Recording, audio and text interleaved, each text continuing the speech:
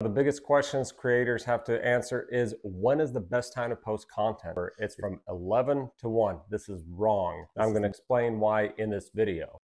I want to share with you how I grew my account from nothing, zero, to over 120,000 followers now on Instagram and Facebook, doing it all organically and authentically. No bots, no follows, no gimmicks, no crazy programs. Or that's what I'm going to help you achieve. And that's what this series and this channel is all about.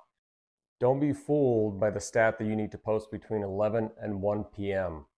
There are approximately 1.3 billion, that's billion with a B, posts on Instagram per day. 11 to 1. And that is when the maximum flood of posts is going to occur. That that time is going to be the most saturated time for any content that's going to get pushed out. But I'm going to tell you what that metric truly says that metric just points to when users are active. That does not mean that for your content, that is the best time to post. If you post during 11 to 1, you're going to be competing in an oversaturated market. That means your content has to be so good that it has to stand out from all of the other content that's being pushed out. what you need to do is begin posting at various times. I know make a post in the morning one day, make a post in the afternoon the next, make one in the evening, and rinse and repeat this for say a week or two. Your posts are now not competing during the traffic jam of 11 to 1. Your posts are on the highway flowing through and you have a better chance of hitting your audience at various hours because as of right now especially if you're a new account you still don't know who the audience is.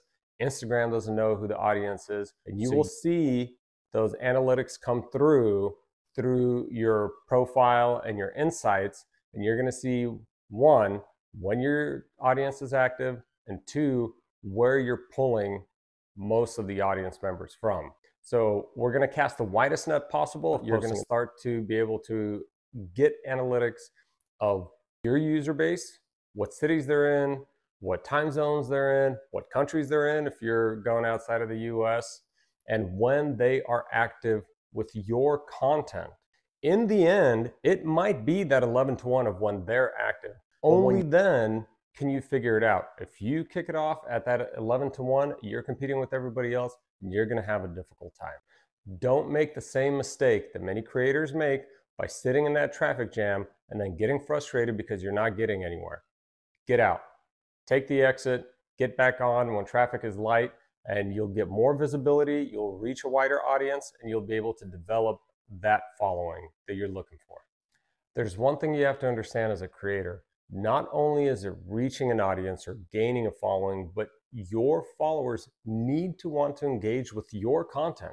If you're only by casting that wide net, getting people who actually want to see your content, will Instagram realize who they need to send your way who they need to share your content with. And that's how your account's going to grow. And once that gets set up and Instagram figures you out, they'll continue to push out your content. One because more aspect to consider is you are never going to have the perfect timing. Even when you do analysis and even when you start posting and getting engagement, sometimes you'll post something and you're not going to get the engagement that you normally get, that you've expected to get. I'll give you one tip that I learned along the way, and that is this most people want to post their content and wait for it to go viral immediately.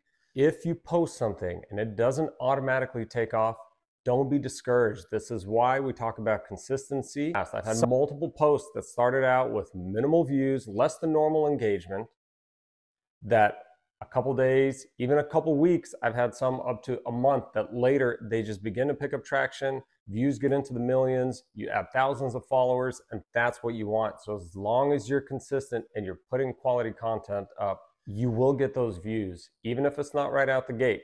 Sometimes it takes days and weeks for content to pick up traction, for the algorithm to begin to push it out, and for it to go viral. I hope you enjoyed this episode today, and I hope you stick around for the next one. We're going to continue this growth. Leave a comment, like, subscribe to the channel. I'm going to continue to give you tips that I learned along the way and strategies that you can implement specifically for your account. Remember, no hacks, no gimmicks, no costs, just you taking a little bit of time to navigate the ecosystem and you will be rewarded by the algorithm for doing it that way. If you have a few questions, drop it in there as well. I'll try to reach out and give some advice where I can. Again, we're all in this together. We don't lose anything by helping each other out. I uh, hope you stay tuned, and we'll see you in the next one.